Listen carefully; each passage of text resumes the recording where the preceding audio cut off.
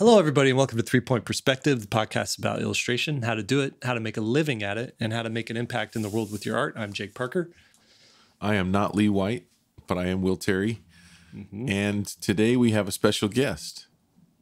Yep. We, we have special guest. Her name's Mel Cherhe. And Chehe. Uh, Chehe.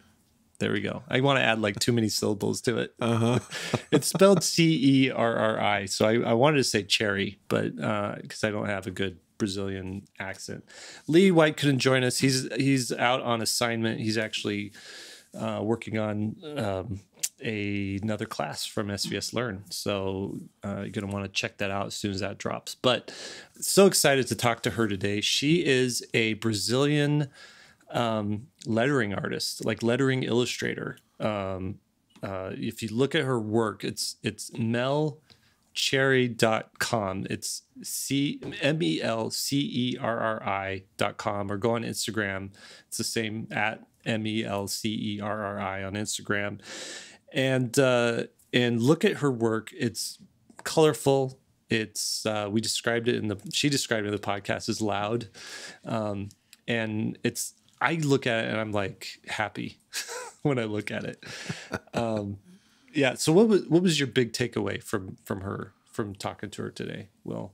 Um, it's how she's always creating, and um, she's balancing a family and her art, and it's it's inspiring. Yeah, I, I liked how she called it premium hours. So she has what she calls these premium hours, and this is like four or five hours in a day, where she doesn't have interruptions and she knows that like she has to make something within that time period. And she's like if i'm if i don't have a client job i'm going to still use those hours to make something. And she's but what's cool and i and this is something that i see all the time with very successful illustrators is they always have some sort of personal project that they're working on mm-hmm. you know?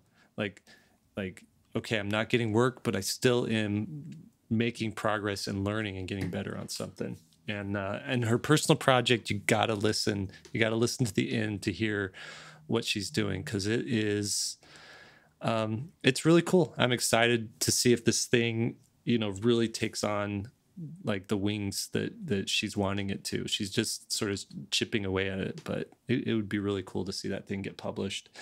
Uh, one other thing I I took away from her, she she kind of told the difference between or shared the difference between kids having kids and not having kids and the motivating factor of getting work done after you have kids. She's like i'm mm. actually more productive with kids.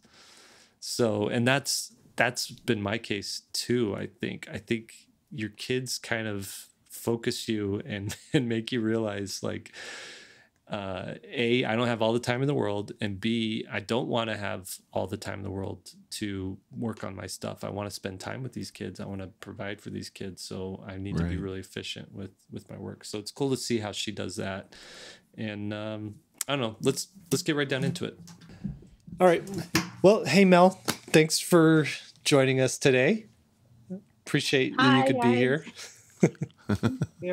so uh, I was not familiar with your work uh, before meeting you um, online first uh, in, in, email, uh, but I instantly, when I saw it, I fell in love. I have it up on my monitor here. Um, I fell in love with it, and I want you. I would like to know first off, describe what uh, illustration field you operate in. Like what segment of the illustration world you operate in.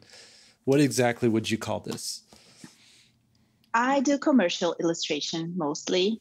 Um, mm-hmm. So I work for clients. Uh, um, so let's say a client needs to, a greeting card, or a client needs some illustration to go on their website, or for some specific communication they're sending out to, cl- to their own clients.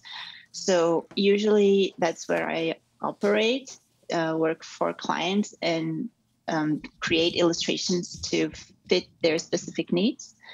Um, and I do a lot of personal work as well, just to keep practicing and like kind of directing where I want my style to go. Mm-hmm. Um, so yeah, I think that's that's how I would define it. What would you? How would you describe your style? Mm, I think it's it's really loud. It's you know bold and vibrant. Mm-hmm. Um, I'm usually I don't work with like muted colors. I don't. I usually go for like the big contrast, the really very saturated. Um, when I work with lettering, I like to be very expressive. I mean, I've been through all, you know, the journey to get to this particular style right now. Yeah. I'm, I'm, I'm holding up one of her pieces of art if you're on YouTube and it says loud, yeah. the, the lettering. yeah. Yeah, it, you know, it's been a journey. I've been through many different styles to get here, um, but this is what I would think is where I'm most comfortable, you know, like mm-hmm. where I'm in my zone is doing really loud, expressive work, um, working with abstract sh- shapes, you know, just geometric shapes and simple, very simple illustration, like I do hearts and lightning bolts and um, mm-hmm. smiley faces. You know, I am not a person who illustrates like realistic, you know, people, portraits, things like that. Yeah, I, I almost like you're bridging the gap between graphic designer and illustrator. And I, I want to know like how did you get there? Like how did you arrive at this like working in this way where the words, the letters, the the shapes are all very expressive and very much evoke some sort of feeling, but could almost be like exist very very naturally and comfortably in a graphic design kind of world? Yeah. It's funny you, you say you say it like that because um, so i never went to school for illustration specifically i'm mm-hmm. a i'm an advertising major and i i wanted to become an art director when i was in college and when i was in college i started doing freelance design work with my now husband. He was my friend in college, and we just started freelancing mm-hmm. as a mm-hmm. graphic. I started as a graphic designer, and, and I stayed that way as a freelance graphic designer for 10 years for over 10 years so and but i always loved you know drawing i've always loved typography so i was doing it on the side just for fun just mm-hmm. practicing just you know silly things on the side and slowly you know, I I found out that lettering could become a career, which I didn't know. I thought it was mm-hmm. like just fonts. Um, and I started investing in that, like, okay, maybe one day in the future I could become a lettering artist. So let's start practicing more and more. and that's kind of how it started. And slowly I stopped working as a graphic designer and started just doing more and more client work as an illustrator. So I feel like I feel like graphic design is my like it, it's my bedrock. Mm-hmm. you know, it, it's where mm-hmm. I'm super safe and slowly I'm still starting out as an illustrator, I feel. So I mm-hmm. I'm slowly, you know, branching out and exploring uh, other kinds of illustrative um, paths for me um, so yeah, I feel like very much of my work is is still rooted in graphic design because of that, because it's what I've been doing for the past 10 years. Now I don't do it mm-hmm. anymore, but it's a recent thing. So yeah, how long have you been doing this the this more illustrative style? Um around around 6 years ago I started practicing lettering. Mm-hmm. And then like I've I was picked up by a representation agency in the US. Mm-hmm. And that's when I really started getting more client work, which mm-hmm. was four years ago. Mm. But only only in 2021 is that I like re- left my last uh, graphic design client behind, said goodbye, mm-hmm. said I'm I don't want to do this anymore. I want to be an illustrator. And so it was it's it's super recent that I can call myself only an illustrator and not anything else anymore. That's awesome. Only Congratulations. An only an illustrator. Yeah. That's cool. Well, I was looking at your work and um, and I, have talked about this before on the podcast that my I, I used to work in graphic design as well, and my boss really pushed me towards doing basically what you're doing, hand lettering. Um, I took a class in in college on hand lettering, and I even pushed to illustrate the hand lettering on a couple of my books. Cool. So so yeah, so I I I um I love draw, designing letters like you do. Um, I it's, love it's, it. It's it's a neat skill for illustrators to have. Um, Absolutely. like you know, it's it's it makes you more marketable. mhm. yeah And- and i think it was super comfortable for me when i was starting because you can't like you have these very specific rules you have to follow you have predefined shapes you want to you know nail so it's a lot easier to start for me it was a lot easier to start with letters than it, is to like let's draw human a human figure or like a, Mhm. a, a landscape or you know because it's it's so wide open. With letters you you it's not that open. You have very specific uh, guidelines and rules and you know so it was easier. And also i really love typography so i felt super um, comfortable there exploring and growing in that direction first. Hmm So, uh, you were you getting like prior to getting the the work with the agency? Was how were you getting your client work that you're doing? uh, via via word of mouth mostly Just word of mouth. friends yeah friends and you know i had an instagram which was uh, Mhm. Instagram was still good in pushing out your work to new people. So I had an Instagram page that I started uh, uploading my stuff to, and but I was always been like super um, shy in selling myself.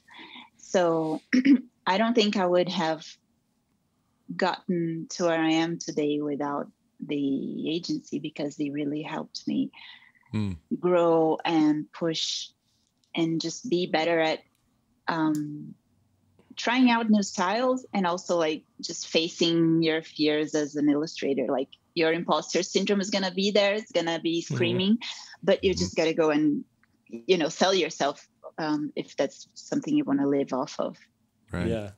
So we get this question so many times. I don't know if you get it a lot too, but how do you get an agent? Right. So I want to ask you, how did you get your agent? oh my god. Um, i was it was really uh look kind of a lucky break. I was following him. Uh he was this this uh drew who is my my agent he was uh, an illustrator as well. He was a lettering artist. So i was just following him on instagram. And then he went through a, a career change and he decided that he would be much better at representing artists than as an artist himself. So he was going through that change. Hmm and then suddenly you know drew melton stopped being drew melton on instagram and changed to closer and closer. And i was like what's closer and closer? When did i start following these these people?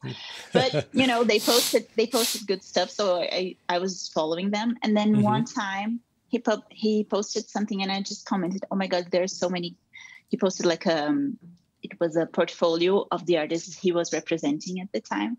Yeah. and I just com I commented like, "Oh my God, so many great artists here," something like that. And that comment made him go into my Instagram page, and then he saw what I was posting, and he was like, "Oh, you have some good stuff. Let's talk." Oh. Yeah, and that's that's how I got like in, and I'm like so grateful to be in. Every year, I'm like, "Oh my God, the, the you." one time you weren't shy and it, uh, yes, exactly. And it worked in your but, favor. You know, I was kind I was really lucky. You know, he was starting out, he was looking for new artists. Now it's like a huge roster with many people, and Mhm. he's I feel like he's much more picky as to who Mhm. gets in now. Um, so I would say, if you're not as lucky as I was, um, that it's really important that you find the style that you excel most at. You know, like you're really happy with your work, you're really flowing well with your work. And then don't be shy about pushing it and sending your portfolio to the agencies because they are always looking for like the, uh, the roster is always changing. So you kind of have to be on their mind to be picked. Yeah. That's super Now, cool. you're you're living in uh, Brazil, right? Yeah. Is your agent also in Brazil? No, he represents me only in the US. Oh, okay. Yeah, Yeah. if you go to closerandcloser.co, uh, you'll see. Really, it's. I mean, it is a a kind of a vibe that he's got going, like a very specific. I could see who would not be uh, someone he did he's interested in and in, interested in, and I could see definitely the kind of artist that he would, and you've you fit into that really well. But yet, there, each of these artists is doing something a little different that Yeah. no one else does. So I would say, mm, you know, the, to kind of follow up on this strategy for people listening, it's like make sure you're creating artwork that looks like something va- mm. valuable, you know, something that clients want. 2 mm-hmm. reach out and to agents, but look at agencies that are doing and representing the kind of work that you're doing because Yeah. if I sent him my work and said, "Hey, would you be interested in representing me?" I know it'd be a flat no because I I'm not doing, you know, this this my stuff. I don't think is this trendy. like it's this stuff is really really cool stuff. I actually know one of these other artists on here as well. Uh, what's his name? Dave Arcade. He's pretty cool. Yeah. Um, he's awesome. He's he, he's based in Utah. Will. Oh, I didn't know that. He's Yeah, such a might- funny guy. Yeah, he is. he is. We, I think we had a, a phone call once. So let me. I want to ask you what your the way you work. Is it? It's obviously digital on some level, but I see you're also doing some traditional stuff as well. I'm just curious what where you're most comfortable. What tools do you like using, wh- um, and and how you go about making this stuff.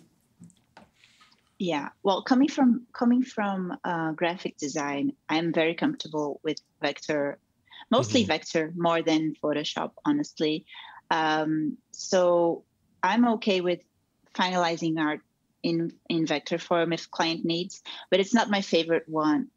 It's not my favorite medium to work in right now. Mhm. Um, I have been just doing a lot of digital drawing on Procreate on the iPad. That's been my like. If I have Oh wow. very, Hmm. yeah, if I have very little time, I just do. I just work on Procreate. It's such a good tool. Yeah, it's amazing.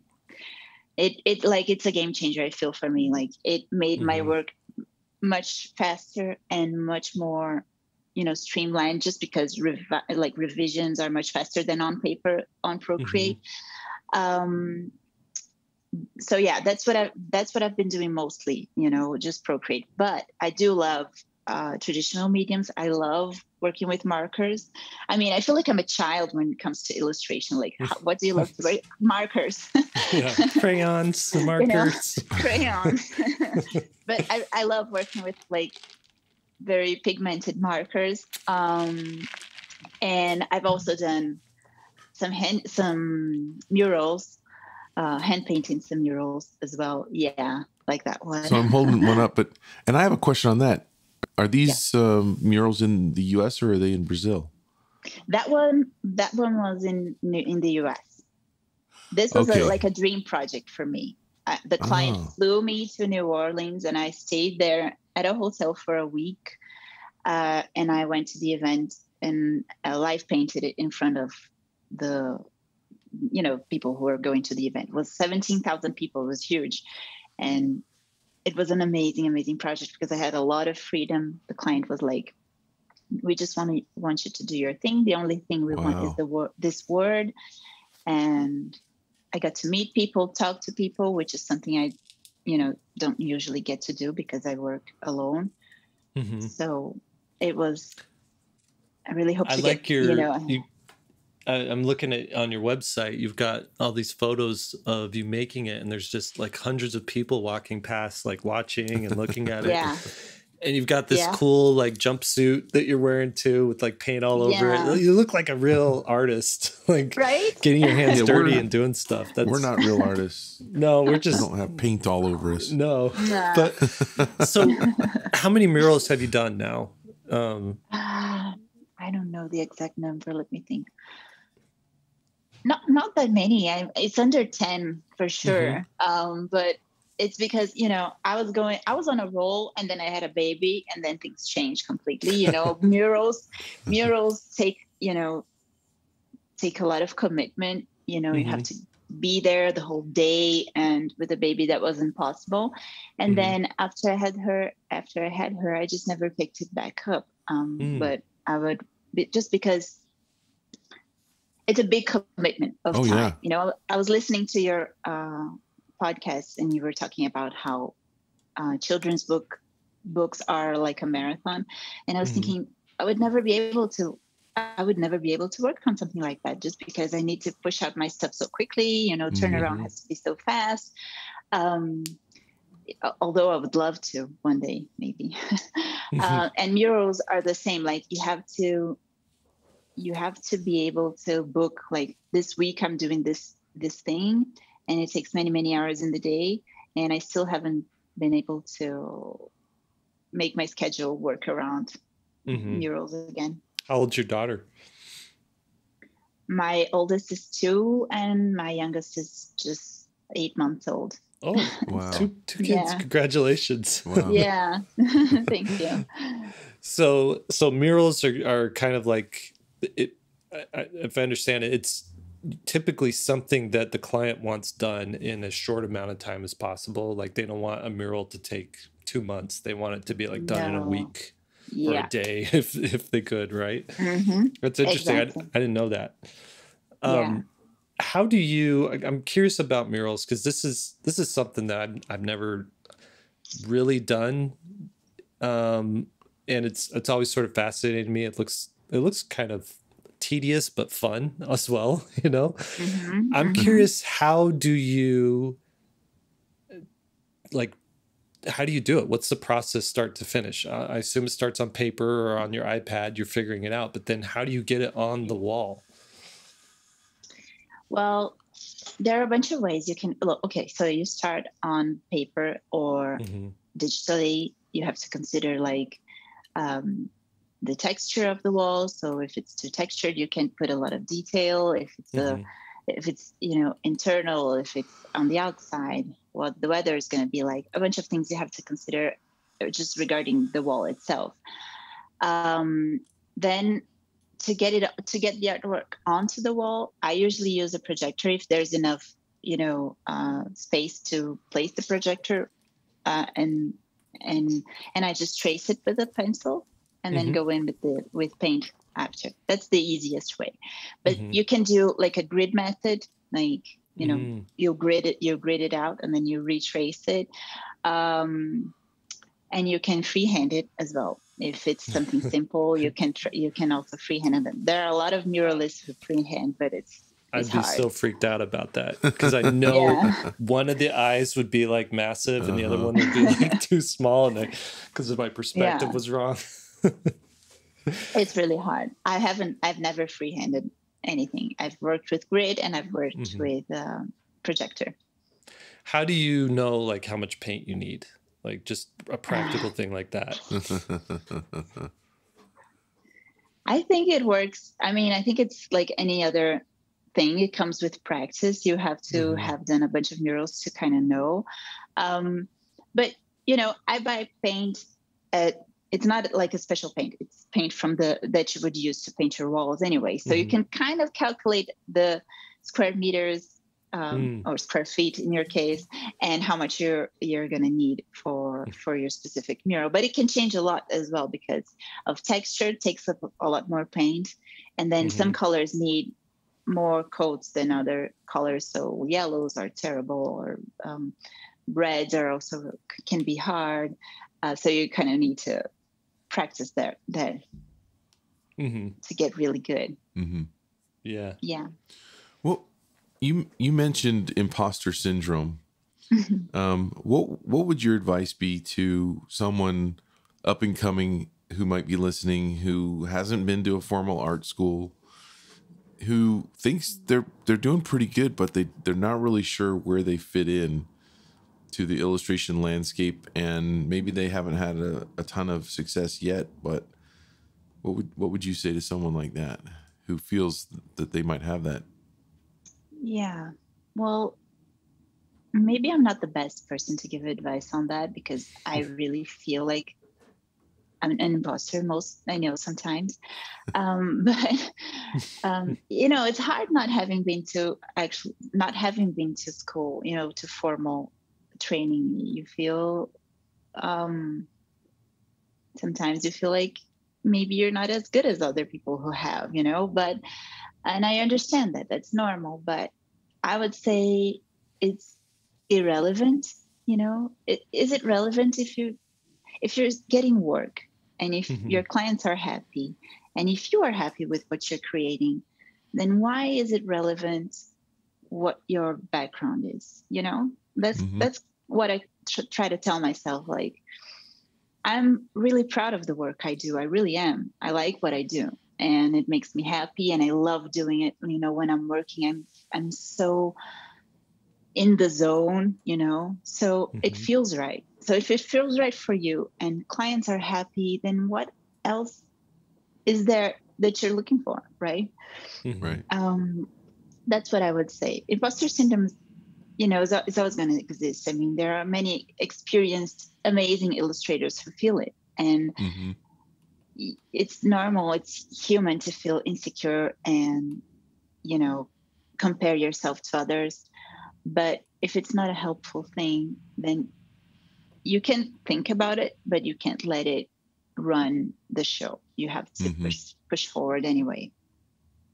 Yeah, it's it's um it's sad to me when you know, um, a lot of artists, myself included, when I first started out, I wanted I wanted the market to define me, or I thought I wanted the market to define me, when really um, it's me. Only only I can define myself, mm-hmm. and and and my validation. Um, you know, if you look at if you look at artists through history, a lot of artists had to fight against um, the what was popular and what was in demand and they had to go their own way and they had to do their own thing and they were never getting commissions to you know a, a commission reaffirms your your, yeah. your, it validates you right or mm-hmm. or getting um, accepted by a by a um, an agent or a rep is a validation yeah, yeah. but uh, yeah so somehow as artists we need to um, not necessarily seek the approval of others but but really, uh, really feel um, the drive that we have within to to fuel our work. You know, I always think of it of it like when a when a kid is doing something that they really love, they are never thinking, "Am I good at this? Why am I doing this? Is this a side hustle? Am I going to get some money out of this?" And you know, mm-hmm. would clients like this? You know, kids just do things because they want to do it and then go ahead and do it. Right? They don't ha- they don't add all these layers of thought processes in front of their decision to just go ahead and do something. And illustration for me is exactly like that. You know i would be doing it even if i didn't if it wasn't my career i would still be doing it for fun. So why do i take the fun out of it completely by thinking our client's going to like this is this trendy hmm. you know is this it, it? Um, so i try to m- remind myself of that um, that to try and stop all the thinking that goes around it and just do what feels right um, i think it's the best path it has been the best path for me anyway to find my my space in illustration mm-hmm. Mm-hmm. that's that's really cool i have this like this theory that there's like three reasons that people make art. And number one is just this innate need to create. And then number two is they're not good at anything else and they have to make a living somehow so they're gonna they're gonna yeah. create art for survival essentially like physical to provide for physical needs and then three um, they use art for like community like they need um, some sort of validation or they need to yeah. use it as commentary for uh, as, of those three things you know using art to be a part of a conversation using art to for self-fulfillment or using art to like as a means to an end to provide for yourself where does where do you fall mm-hmm. on that mm-hmm. spectrum or is it a, you know a little bit of all all of them i think definitely definitely number one is like the main thing for mm-hmm. me. I really just need to be creating stuff. Um, I think I've it's the one thing I've always done throughout my life, you know. Mm-hmm. Um, so definitely one, and then two is like the happy icing on the cake. Like it's a good thing that I found a way to make money out of something that I love. Like mm-hmm. when when my husband, when I tell my daughter, mama mama's working right now and i'm like drawing on a piece of paper. It's it's ridiculous right? It's ridiculous. And my husband makes fun of me all the time because it's like yeah mama's working right now. Because uh, right. but it's, it's it's i feel so blessed to have found a way and to have had people cross my path and make this happen that I get to make a living out of something that that I would be doing anyway, uh, mm. and that I love to do. So I'm curious about, and you know, couples who one's a creator, one's an artist, they have kids. I'm curious about the like the division of labor. How do you, mm-hmm. how, where's your life balance? Like, how do you manage? Um, you know the home life versus the work life. I assume you work at home as well, or do you have a, a yeah. studio that you go to? Okay, so I'm just wondering how you do that. Um, currently, things are a little crazy because of because you know I have a small baby who's still breastfeeding, so there's not mm-hmm. really much of a structured schedule.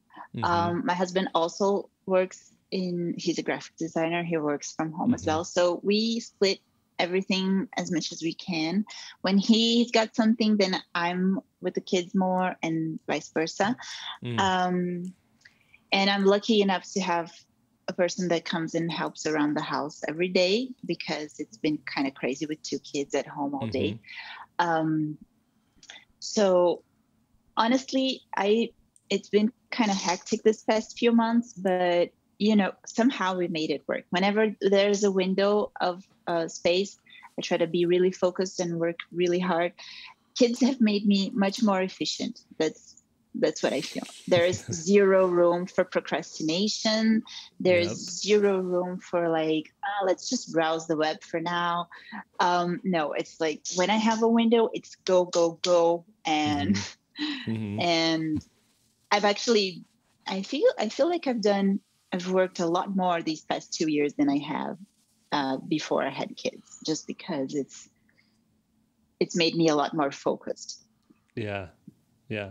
So how do you balance making stuff with marketing stuff? Do you just hand that all over to your agent, or do you like? Do you use social media to try and get more work, or to try and grow an audience for your work, or or um, is, like i'm just curious how you balance mm-hmm. between that like and then also when do you do personal work as well so it's that's a very mm-hmm. layered question but i'm curious how mm-hmm. that all works for you well i try to do personal work whenever i don't have client work so i have a few what what i call the, the premium hours of my day that's when mm-hmm. my oldest daughter is in school so i have like five hours, four or five hours that are my premium hours. Mm-hmm. If I don't have any client work that's going to happen during those hours, then I focus on doing personal work. Like mm. just I work on personal projects that I have that are going on, or I start something new, or I, you know, practice something that I'm I've been meaning to practice. Um, and about marketing, well, I'm terrible at it. I'm really terrible. and you're like all the other illustrators. yes. no, there are a few like few very good ones, and then the rest of us. I feel like um, it's I I was not born for social media, you know, but I have to do it, so I do it. Mm-hmm. Um, I I try to post everything I do to Instagram which is the one that I use the most. And then when I have a big project, I upload it to Behance because Behance is a little bit easier, more controlled, and you only have to, you know, to update it like once a quarter. is fine. You mm-hmm. don't have to do it all the time like Instagram. And I have in the past sent emails to past clients, but I haven't done it recently, but I should get back Mm. to that. Um, but honestly, I feel like super self conscious to just go in and say, Hi, remember me? We worked uh, in 2018. Here's what I've been doing recently, which is silly. You know, they don't have, they- they're fine with, I feel like they're fine with getting those emails. Uh, but I feel super self conscious about doing that. So I haven't So- done it. recently. Here, I I know a way to make it uh, not self conscious. Okay, Oh, cool. you ready for this? Because I used to work please. for um, I used to work for a, um, a studio. It was like a commercial. We made commercials, like animations for commercials, and we used a lot of like outside talent that we would Mhm. like. Oh, for this commercial, let's get this guy to do this thing, and and and so what we would get uh, like around Christmas time are like cards from these people just saying, you know, Merry Christmas. Hope you guys had a good year. And it's their artwork. Like, here's something they made. Um, and then maybe sometime in the middle of the year, there'd just be like another postcard or another, like a physical thing, physical not, a, not an email. And, uh, and it was just a way for them to like touch base. Like, you know, it'd be a happy new year or it'd be spring is here.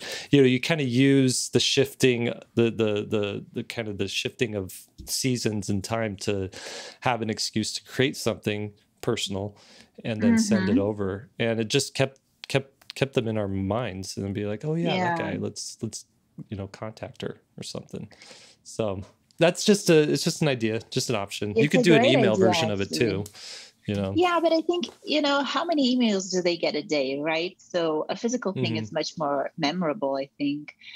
Um, it's sad that we don't send them as much as we did before. um, but yeah, I, I think it's it's actually the most effective kind of marketing you can do because Mhm. it's personal. Um, you know, when you talk directly to your client, it, it, um, the person knows you. He knows how you work. He already is familiar with you uh, and knows that you're, you know, you answer fast or you're on time. You don't, you know, deliver files the way they want Mhm. them. So I feel like it's the most effective. It's much more effective than just, you know, just um, posting your your artwork on Instagram to a huge audience that don't Mhm. don't even relate to you. Right. Um, but I think that the fact that it is personal is what makes me a little bit shyer, you know, in doing it. But Mhm. I'll, I know that closer and closer does. They reach out. They reach out to past clients all the time. So Mhm. I trust that they're doing they're doing that for me as well. well, you keep getting work, right? So, so something, Yeah. something right. yeah. You you also mentioned uh, that the, the the mural job was kind of a dream project. Yeah. I'm wondering what what what else is on your horizon of of dream projects that you would love to be able to do that you maybe haven't been able to do yet. Um, I would love to do a book, a book cover. I've never done a book cover. Mm. Um, I think it would be so cool to have like a physical thing. Uh-huh. I have the dream of illustrating a, ch- a children's book, but that's like in the future. Um, there's a lettering artist that I really love. Her name is Jessica Hische. I don't know if you're familiar with her. I was going to ask if you She were if she, if you were a fan. Yeah. She's Oh, awesome. Yeah, I'm a huge fan. She's yeah. awesome. And she did that. Like she did a children's book, you know, three, I think, Yeah. now. Um, yeah. So it's possible for us lettering artists who are not writers, who are not, you know, maybe not professional illustrators in the children's book uh, scene to do to do something like that. so Mm-hmm. Yeah. and yeah, I think those two are my big, big Mm. ones right now.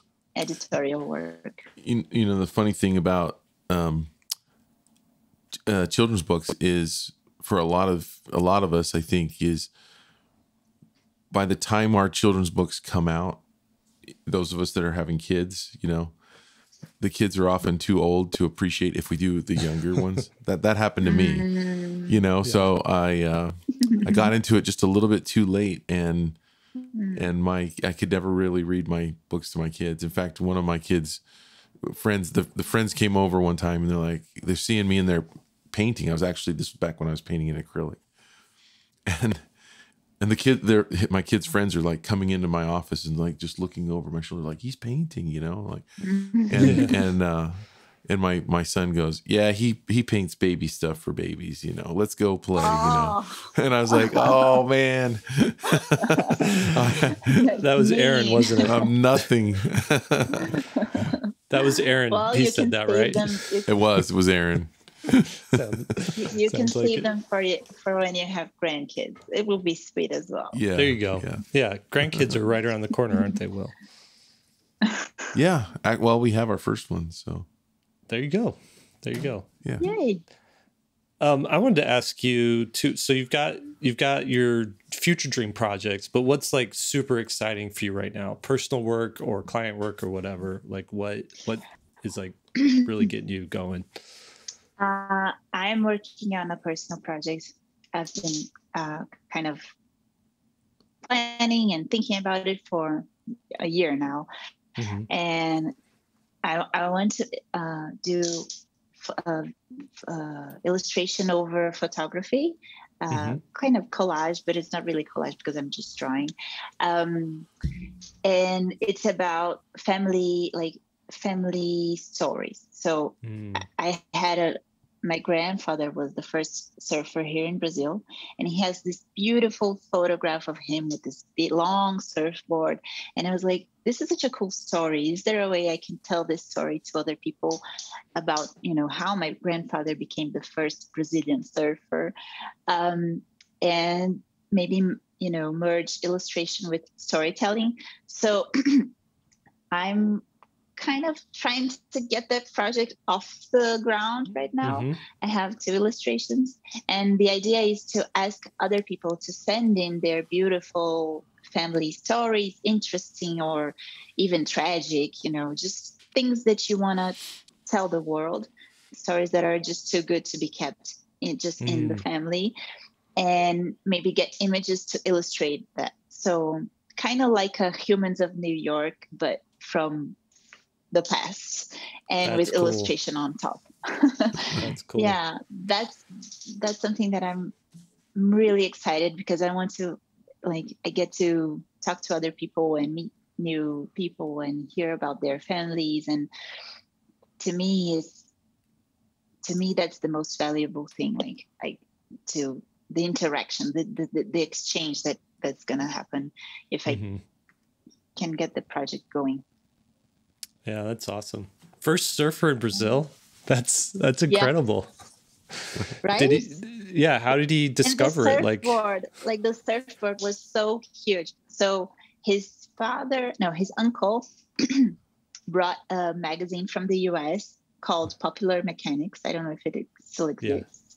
Uh-huh. And and it had the like the plans of how you build what was then called a Hawaiian board, which Mhm. is the surfboard.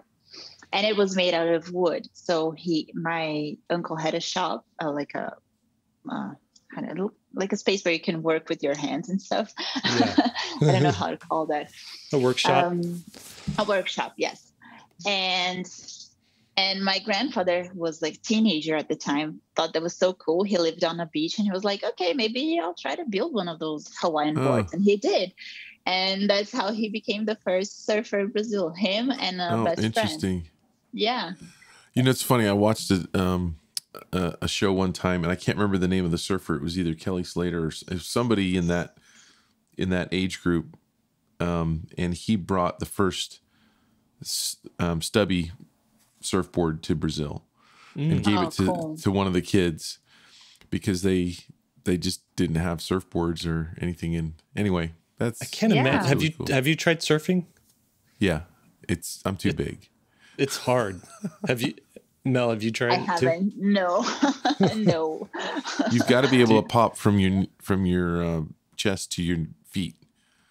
yeah. Really, like like you have to be able to push up from your chest to your feet. and that's after you're dog tired from swimming out past the, the breakwater Right. like Yeah. over and over and over again Yeah. Oh man, uh, I can't imagine surfing on a wooden board though. Like, Yeah, that's it was huge. You know, Yeah. uh, stand up paddle. You know, the Mhm. like the Yeah, long, the long paddle okay. boards.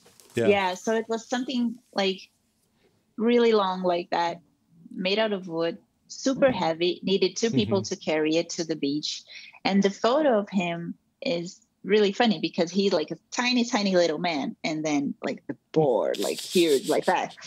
so it's such a it's such a cool photo and such a cool story. I like I was like, you know, people need to hear about this. And the other Yeah. story that I already have illustrated is uh, my husband's grandma when so they were they're both Spanish, their grandparents, and uh, it was after the war. They wanted to move to Brazil, but her father wouldn't let her move to Brazil unmarried, but also didn't want them to get married in Spain and move to Brazil because he wasn't sure if they would be able to um, support themselves here. hmm So what they did is his his father said, her father said, you, the husband, go to Brazil and you get a job. And if you do get a job, then you can marry apart from each other. So she got married to him in Spain and he was in Brazil. It was the weirdest thing. It was Whoa. a marriage apart. Yes.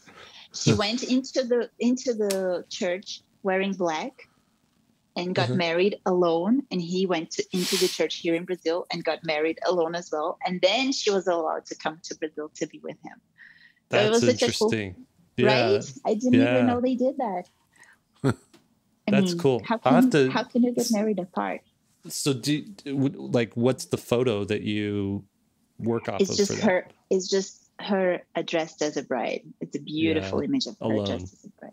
Yeah alone. Exactly. All that's alone. that's poignant. I'll have to send you my wife's grandfather. Um, when he was a baby, was left at the doorstep of an orphanage in a basket with Whoa. a note oh my god with a note that said, "I'm so sorry I couldn't keep you. You know, please take care of him. Someday I'll return to to be able to get him." And the way you'll know it's me, um, he had a ripped dollar bill, and she said, "I have the other half of this, so you know I'm your mother, so that you can match wow match him." And I always thought that was a cool story. that's beautiful did yeah. they ever get- get back together?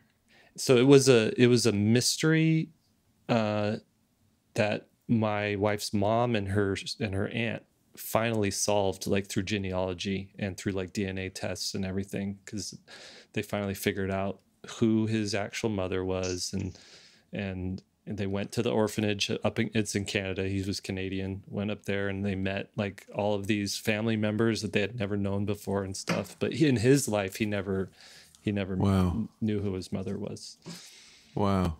yeah Wow, that's crazy. interesting huh and he he he ended up becoming a really successful businessman and like just uh just a amazing guy like uh you know the stories i've heard about him i met him after he had um just before he had died and he had already kind of lost his his memory and, and stuff but um yeah just a cool guy so there's you know you put the word out for family stories and you're gonna you're gonna have a full book the hard part will be illustrating all of them exactly. and like it's so exciting because I love hearing those stories and I feel like other people will, will like to hear them too. yeah yeah Yeah. Yeah. So, I, a couple more questions. G- going back to, um, I, I guess the economics behind all of this, and and you know, if you're not comfortable sharing like how much a job is, but I'm curious like what the range is for like a mural project. Low end, high end. What would the range be for like a you know one of your jobs that you're getting? Um, you know, we have the people who listen to this are a lot of them like how do i make a living? How do i how do i get into the professional side of this? And one of the big questions Mhm. is is it even sustainable? Is it is it something that i can you know support my myself on? I'm, I'm just curious about that in in regards to this particular kind of illustration work that you do. Um, well, it's definitely definitely sustainable, but you it, it helps if you have a, a style that is commercial. Mhm. Um, you know, there are many really amazing artists, super talented, but maybe their work is too, I don't know, maybe their work just doesn't, sell so well, or, or, or Mhm. there's a limit, limited um, pool of clients that would need that kind of Right. specific work. It's not that they don't sell, but you know, you need to work harder at Mhm. getting clients. Right. Um, but yes, it's definitely sustainable. I'm in a lucky position because I live in Brazil and our currency here is really devalued compared to the do- co- compared to the dollar.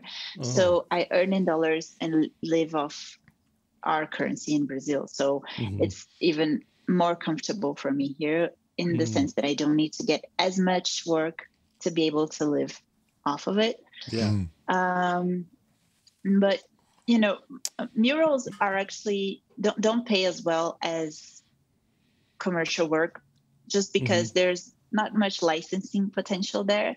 Mm. Um, it's just the you know it's just a mural and that's it. It's it's Mhm. it's not usual for clients to use that image afterwards and then you get some money out of licensing I it see. for other usages and everything. Um, I'm not the best person to tell you how much a mural is going for. We usually charge like around uh, uh, for square meters, Mhm. um, but I can't I can't really tell you the cur- the current rate honestly because Okay. it's been two years since I did it yeah. since I did it. But this this particular one for Keller Williams, I think they paid me twelve thousand dollars, something like that, Mm-hmm. Okay. which was amazing. That- it was a that's really good, pay payday. Yeah. yeah it was a really good pay and i got to go to new orleans and like eat all the amazing food Yeah. and stay there for a week it was awesome did you get did I you get really some wish I- oysters while you were there? i and, you know i didn't because i re- hate seafood Oh, but i did oh. eat, I, yeah not the best place for me but i did eat a lot of fried chicken like a lot, a oh, lot Oh, of yeah. That stuff's good too. Absolutely yeah spicy spicy cooking. sauces Yeah. yeah and so So they could have paid you in fried chicken for that mural, and you you would have you would have done it. Absolutely. you know, just just the just the trip itself, you know, it was like you come here, you work for free, and then we send you back. And I would be okay. Yeah. when do I go? But to So, our yeah, to our but- listeners, don't don't take that deal. You got to get paid for your work, otherwise you set Yeah, don't down. take the chicken deal, Don't people. hear, don't hear, don't hear my, don't listen to my advice. and then the the good thing about having an agent is that they, I mean, they do take a percentage of your pay in close Mm-hmm. and close, you know, but um, they also push for the best possible budgets. You know, they Right. also like I would never have the stomach even to push Right. for some of these budgets and they work really really hard to get you the best possible pay so you do get a cut but it's in my case completely worth it um, hmm yeah. to work with them That's cool. Yeah. Yeah, I was I was I was just uh, interested in, in that. And, and two, I I love that like we get to meet you before you're doing book covers and your children's book and we could say we knew Mel. we knew Mel when when you know, we had her on the Uh, podcast first, you know. yeah and then you can call me back to talk about the books Yes, absolutely. That's for sure. Well, I think I think we're gonna wrap it up there. This has been a great conversation. Did you have any follow up, any questions, Will? No, just a it's just a fun career, fun work. You sh- you guys should um, check it out if you haven't. We'll put a link Mhm, Absolutely. um, along with the podcast and also on the YouTube channel. But uh, but yeah, the the uh, doing the uh, hand lettering thing that's a great companion to illustration that a lot of I- I'm surprised a lot of illustrators don't know how to design type and letters and. There's a alternate universe out there where Jake. That's Jake's uh, main main gig. Is yeah but the thing is Yeah. jake you're really good at graphic design i mean like you have I love it. I love yeah, doing you're it. good at it and and a lot of illustrators like i say they for whatever reason they don't have that skill and in today's social media world where you you know you you want to you kind of have to do a lot of your own marketing. That's a really Mm-hmm. good thing to have, Yeah. especially like Yeah, if you're doing a. Kickstarter or anything like that, to be able to to have a design sensibility for communication. you know just and and i don't know if you did this when you were young mel but like i would i would like i would like copy letters as close as i could like i'd get out a, mm-hmm. a sheet of money and i'd be like okay how did they do the d you know on that and i'd do the d with the little serifs on it. And i and then i'd write my own letters and i'd try to like okay if there's no r on here so let's figure out how an r might look. Is that the kind of thing you did? Yes, and that's like the best practice for lettering. Like you start with one letter and try to figure out what the alphabet would look like Mhm. without reference, you know, where Uh-huh. the you know the fat parts of the letter are and the thin parts of the letter are. And yeah. um and yeah and lettering is like it's a really good especially if you work with books um it's a really important skill to have i feel because then you can control everything that goes on the Mhm. cover of the book like it's not you don't have to use a font and try to make it work with your illustration Right. you control it 100% everything is illustrated there Yeah. so i feel like it's a really and you know if you illustrate like com- complex shapes and stuff it's really easy to do to jump to letters like you you, you guys can do it so i encourage every one of you to give it a hand try it out All right, so that was Mel. How how we pronounce her last name? Cherhe, Cherhe, Chehe. Chehe. Cherhe. Yeah, um, that was cool. Really interesting, and and um, Yeah. uh, she's super nice too. Like, just such a sweet sweet person. Um, uh, the reason too that that I wanted to have her on this podcast is she does work that is completely different from what Yumi and Will or Yumi and Lee do, and uh, and I thought it would be just interesting and, and kind of nice for our listeners because I, I myself was I know if I'm interested in it, the listeners going to be interested in it as well, and, and Right. what Well, and there's a lot of stuff that she people. A lot of people that listen to us that probably want to do hand lettering Mhm. or you know more graphic work. One of the things that that she mentioned a couple of times that I that I took away was she said that um, she she mentioned that she would do this work. You know the the feeling of wanting to do it for free. You know, Yeah. just doing it anyway. Yeah. and that's to me that's when i know i'm dealing with a, a true artist. I think Mhm. I, i've known a few people that have actually gotten into illustration over the years that didn't last and that was the thing they were missing was that passion to create no matter what Mhm. you know? And that is also our downfall as as illustrators because we we love our work so much that we're almost willing to do it for free and that's one reason why we don't often get paid as much as we should. And so that's something to consider i just made a youtube video on my youtube channel at will terry about how to get more money for the illustration work that you're doing to tackle this very thing but but yeah that she's she's a great personality Cool. Well, I'll take us out.